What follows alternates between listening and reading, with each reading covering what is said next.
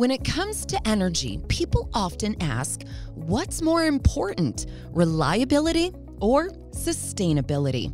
The answer is we need both.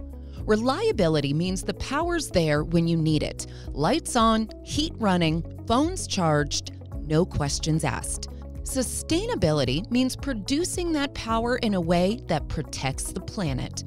Over 60% of U.S. electricity still comes from fossil fuels. Nuclear alone runs more than 90% of the time, making it one of the most reliable. Without reliability, we wouldn't have our way of life in the U.S. Our economic growth, education, health, and quality of life would suffer. Renewables are rising fast, now powering over 20% of the grid with ultra low emissions. But the challenge is renewables aren't always on. In the end, it's not a battle, it's a team effort.